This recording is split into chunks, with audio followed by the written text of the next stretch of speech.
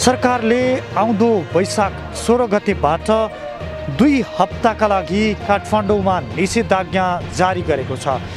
यो भिड अथवा यो दृश्यले तपाईँले देख्न सक्नुहुनेछ यो सङ्क्रमण समुदाय स्तरमा फैलन सक्छ भन्ने कुरालाई यकिन गरेको छ। सामान्य नागरिकलाई देखि सिंहदरबारमा रहेका मन्त्रीहरूलाई पनि कोरोना सङ्क्रमण पुष्टि भएको छ। कतिको डर लागेको छ तपाईँलाई? लाइहाल्छ नि अहिले चाहिँ झन् हाम्रो एजको भट्टाभट मरिरहेछ। डरै छ। कोरोनाबाट बच्नको लागि गाउँ नै उत्तम विकल्प हो त? त्यस्तो भन्दा पनि अब विद्यार्थी मान्छे अनि यतातिर लकडाउन भयो भने खान बस्ने यताउता पनि समस्या हुन्छ।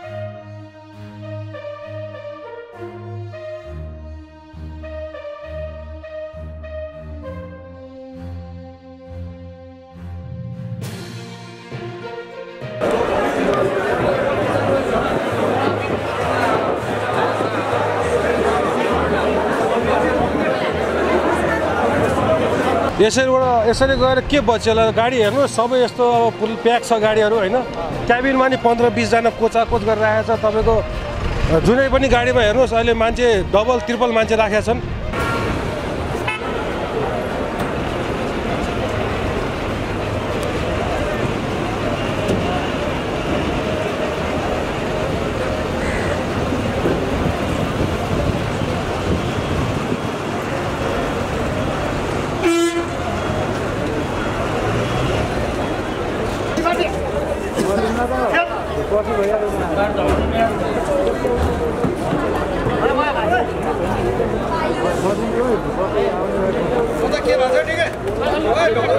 आजको अवस्था हेर्न सक्नुहुन्छ। हिजो अस्ति कस्तो थियो?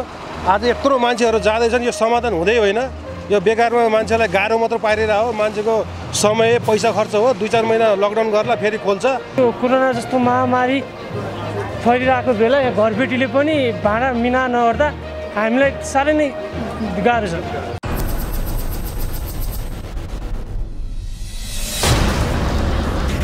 दर्शकवृन्द नमस्कार। अनलाइन टिभी नेपालमा स्वागत छ। दर्शकवृन्द हामी यति बेला गङ्गबुस्थित नयाँ बस पार्कमा छौँ र नयाँ बस पार्कमा यहाँ देखिएको भिड कुनै दसैँ तिहारमा घर जान लागेका नागरिकको जस्तो भिड छ। दर्शकवृन्द कोरोना महामारीको दोस्रो लहर चलेसँगै यहाँ धेरै मानिसहरू आफ्नो घर फर्किनको लागि तल्लीन देखिन्छन्। सरकारले आउँदो वैशाख सोह्र गतेबाट दुई हप्ताका लागि काठमाडौँमा निषेधाज्ञा जारी गरेको छ। काठमाडौँ भक्तपुर र ललितपुरमा दुई हप्ता गरेको निषेधाज्ञा पछि यो देखिएको भिड दुई दिन काठमाडौँ छोड्नको लागि दिएको समयावधि भन्ने बित्तिकै आम जनताले आफ्नो घर जानको लागि यो समय उपयोग गरिरहेका छन्। कोरोना महामारीको दोस्रो लहर चलेसँगै आम जनताहरूमा तल्लिन्छन्। सरकारले दुई दिनको समयावधि घर फर्किनको लागि दिएको भनेर भनेको छ तर यसले गर्दा कतिपय विज्ञहरूले भने यस सङ्क्रमण थप फैलनेमा आशंका व्यक्त गरेका छन्। यो काठमाडौँको गङ्गोबस्थित नयाँ बस पार्कमा देखिएको दृश्य तपाईँलाई हामी देखाउँदैछौँ। आम जनता आम जनमानस एउटा त्रासमा छन् कोरोनाको दोस्रो लहर कसरी फैलने हो अब के हुने हो भन्ने एउटा त्रास छ यो बिचमा हामीले विज्ञहरूसँग पनि निरन्तर छलफल गरिरहेका छौँ। यहाँ हामीले भेटिएका केही अ, जन अ, ताका आवाजहरू र अन्य प्रतिनिधिमूलक आवाजहरू पनि र यातायात व्यवसायका आवाजहरू पनि प्रस्तुत गर्नेछौँ दर्शकवृन्द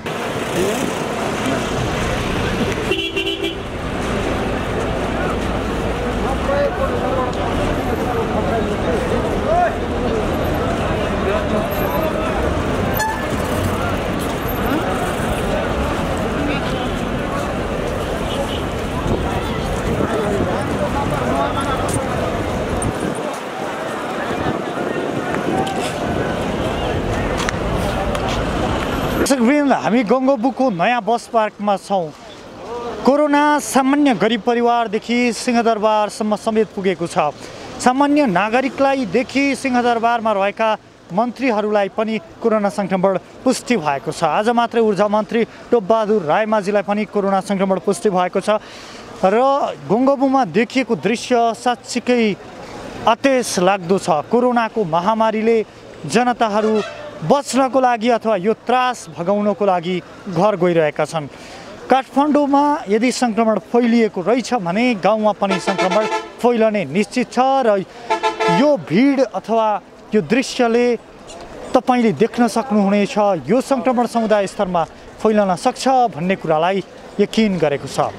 दर्शकवृन्द यो दृश्य देखाइरहँदा पछिल्लो समय हिजो मात्रै करिब तिन हजारभन्दा बढीमा कोरोना भाइरस सङ्क्रमण पुष्टि भएको थियो र आम जनमानस चाहिँ करिब एक वर्ष अगाडि मात्रै आफ्नो गाउँबाट एउटा सुन्दर सपना लिएर काठमाडौँ फर्किएका थिए। अहिले चाहिँ उनीहरू पुनः आफ्नो गाउँ फर्किरहेका छन्। यो काठमाडौँको गोङ्गमुमा देखिएको दृश्य हो र यहाँ देखिएको दृश्य झन् कोरोना समुदाय स्तरमा नै फैलने हो कि भन्ने खालको एक किसिमको डर एक किसिमको त्रास सर्वसाधारणमा फैलिरहेको छ। यहाँ देख्न सक्छौँ हजारौँको सङ्ख्यामा मानिसहरू आफ्नो घर फै फर्किरहेका छन्। यहाँ चाहिँ कोरोनाबाट बस्न भन्दा पनि यो कोरोना फैलावटको हटस्पोट बन्न सक्छ दर्शकवृन्द यहाँ देखिएको दृश्य तपाईँलाई हामी देखाउँदैछौँ। मेरो नाम कल्पना साउन कोरोनाबाट बस्नको लागि तपाईँ जाँदै हुनुहुन्छ गाउँ? हजुर। कोरोना चाहिँ यहाँ फैलिरहेको रहेछ भने त तपाईँले गाउँमा फैलाउन सक्ने हुन्छ। कोरोनाबाट बस्नको लागि गाउँ नै उत्तम विकल्प हो त? होइन त्यस्तो भन्दा पनि अब विद्यार्थी मान्छे अनि यतातिर लकडाउन भयो भने खान बस्ने यता नि समस्या हुन्छ। काठमाडौँमा खान बस्न समस्या हुन्छ भन्ने डरले तपाईँ अब बजारहरू बन्द भयो भने अनि त्यही भएर त्रास छ तपाईँ हजुर डरले त्यस्तै। तपाईँले चाहिँ कुन ठाउँ जाँदै हुनुहुन्छ धनगढी कैलाली। धनगढी जाँदै हुन्छ। गाडी पाउनुभयो? सिट खोज्दैछौँ बस टिकट काटेको छ। बस पाइसक्नु सिट? त पाइसकेछौँ गाउँ जान अथवा चाहिँ कोरोनाबाट चाहिँ यो भिडभाडसँग चाहिँ डर लागेको छ कि चाहिँ छ नि डर त के गर्ने अब? डर त डर नै छ। भनेको तपाईँ काठमाडौँ छोडेर चाहिँ जानको मुख्य कारण भनेको यहाँ चाहिँ भोलि खान पाइँदैन कि विद्यार्थी जीवनलाई गाह्रो होला कि भन्ने कोरोनाबाट बस्न अथवा चाहिँ सरकारले राहतका प्याकेज ल्याउनु पर्छ जस्तो लाग्छ कि लाग्छ लाग्छ नि राहत दियो भने त सजिलो विद्यार्थीलाई चाहिँ राहत दिएको भए तपाईँ काठमाडौँ छोडेर जानु। हजुर यहाँले समय दिनुभयो धेरै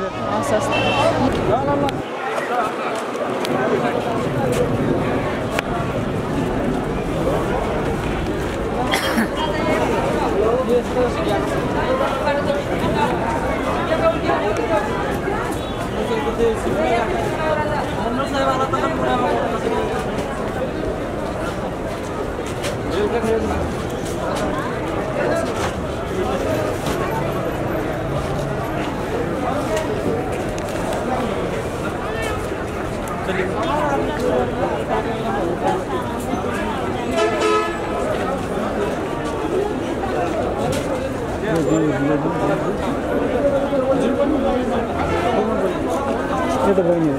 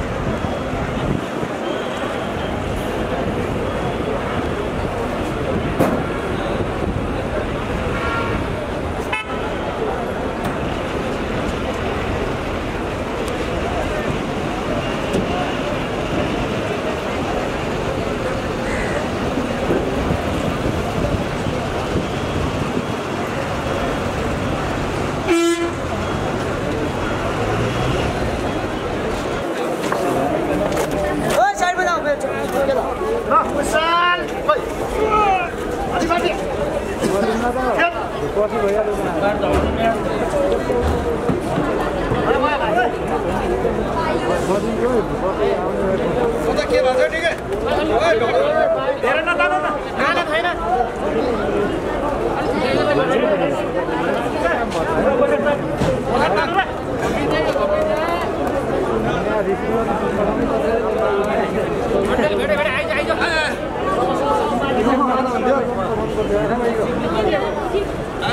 भेटिसक्यो त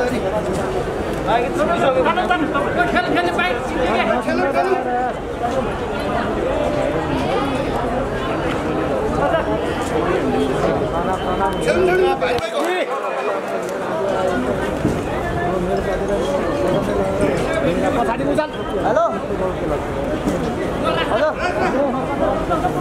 गाडी अगाडि आइसक्यो अगाडि पम्पमा अगाडि पम्पमा पम्पमा लागिरहेको यता यतातिर पनि गाडी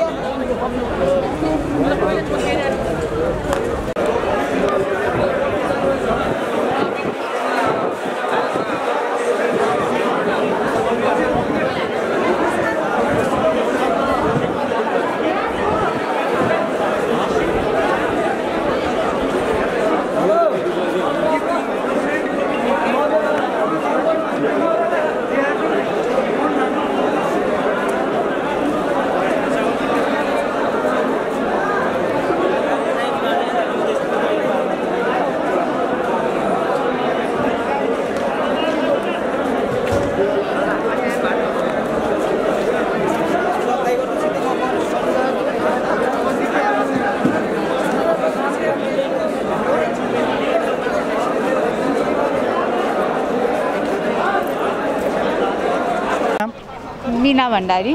तपाईँ कुन ठाउँ जाँदै हो? सुर्खेत। गाडीको टिकट पाइसक्नुभयो? अँ गाडी बुक गरेको आउँदैछ। जस्तो कोरोनाको दोस्रो लहर फैलिरहेको छ नेपालमा कतिको डर लागेको छ तपाईँलाई? लाइहाल्छ नि अहिले त झन् हाम्रो एजको भट्टाभट मरिरहेछ। डरै छ। धेरै यो सामान तपाईँकै हो?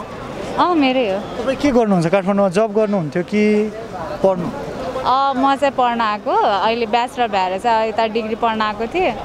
अनि अब लकडाउन भयो न पढाइ भयो न केही भयो अब चाहिँ घर जान आँट्यो। पनि काठमाडौँ नै हुनुहुन्थ्यो? नै म आफ्नै घर त्यो सुर्खेतै थियो। अनि अब यो कोरोनाको दोस्रो लहरसँग चाहिँ डर लागेको छ होइन? सरकारलाई के सुझाव दिनुहुन्छ? के गरिदिए चाहिँ बेस्ट हुन्थ्यो स्टुडेन्टको लागि जस्तो? अब जहाँबाट सुरु भएको त्यो ठाउँमा कोरोना छैन होइन? हाम्रो सरकारले अब हाम्रो लागि अब कति ठाउँमा बेडै छैन अहिले त होइन? लास्ट इयरको भन्दा अहिले झन् गाह्रो भइरहेछ नि त। अनि यसलाई अब अझै सुधार गर्न सरकारले अब अलिक गहिरो ध्यान दिएर कसरी यसलाई हटाउने कसरी उसलाई मा मान्छेहरूलाई कसरी सर्भिस दिने त्यो बारेमा सोचे चाहिँ राम्रो हुन्छ होला। यो भिड अत्याधिक धेरै छ होइन? तपाईँ घर जाँदै हुनुहुन्छ घरमा बुढो आमा बुवा हुनु होला उहाँहरूसँग लागि सर्ने हो कि तपाईँसँग इफ पोजिटिभ रहेछ यो काठमाडौँबाट गयो भने चाहिँ त्यो परिवारलाई सर्ला कि भन्ने डर चाहिँ छ कि छैन? भइहाल्छ नि अभियसली घरमा उहाँहरू अब सुरक्षित हुनुहुन्छ। म यहाँबाट यत्रो मान्छे घुलमिल अनुसार गइरहेको छ भने त अब डरै भइहाल्यो नि। अब परिवारलाई नसार्नको लागि अथवा त्यो गर्नको लागि चाहिँ होम आइसोलेसनमा बस्ने तयारी छ कि छैन? त अँ छ त्यो त छ। बस यहाँको यात्रा शुभ रहोस् शुभकामना। थ्याङ्क यू तपाईँको शुभ नाम? मेरो नाम सुमन थापा हो। जस्तो यो बस पार्कमा चाहिँ अत्याधिक भिड छ होइन? मानिसहरू चाहिँ कोरोनाबाट बच्न घर जाने भनेर गइरहेका छन् तर यसरी जाँदा बचिएला त कोरोनाबाट? यसरीबाट यसरी गएर के बच्योला गाडी हेर्नु सबै यस्तो अब फुल प्याक छ गाडीहरू होइन? क्याबिनमा नि पन्ध्र बिसजना कोचा कोच गरेर राखेको छ। तपाईँको जुनै पनि गाडीमा हेर्नुहोस् अहिले मान्छे डबल ट्रिपल मान्छे राखेका छन्। कुनै पनि अब कुनै पनि कोरोनाको केही पनि युज भएको छैन यहाँ। हेर्नु गाडी हेर्न सक्नुहुन्छ तपाईँहरूले सबै गाडी प्याक छ होइन। यसरी जाँदाखेरि खै केही पनि समाधान होला जस्तो लाग्दैन। जस्तो आगामी सोह्र गतेबाट चाहिँ यातायात पूर्ण रूपमा बन्द गर्ने भनेको छ हवाई चाहिँ यातायात हवाई चाहिँ सञ्चालन हुने भनेको छ तपाईँ के भन्नुहुन्छ हवाई यातायात चलाउने र यो भनौँ न गाडी यात गाडीको बस चाहिँ नचलाउँदाखेरि फरक पर्ने केही पनि छैन। त्यो कुरा एउटै हो। त्यसमा नि पेसेन्जरै जाने हो यहाँबाट पनि पेसेन्जर जाने हो। आजको अवस्था हेर्न सक्नुहुन्छ। हिजो अस्ति कस्तो थियो? आज यत्रो मान्छेहरू जाँदैछन् यो समाधान हुँदै होइन। यो बेकारमा मान्छेलाई गाह्रो मात्र पारिरहेको हो। मान्छेको समय पैसा खर्च हो। दुई चार महिना लकडाउन गर्ला फेरि खोल्छ। अवस्था यस्तै हुने हो। घरमा राखेर मान्छेलाई कुनै पनि समाधान आउँदैन रोगको समाधान हुँदैन। समाधान हुँदैन। यो जब गर्ने मान्छेलाई चाहिँ कतिको गाह्रो? यसमा त धेरै गाह्रो हुन्छ। हामीहरू अब सरकारी कर्मचारीहरूले त अब नर्मली स्यालेरी पाउँछ होइन। प्राइभेट काम गर्नेहरूले त काम बढेपछि पाउने न त पाउँदैन। अब उनीहरूको त कामै रोकिसकेपछि उनीहरू केही पनि पाउँदैन नि।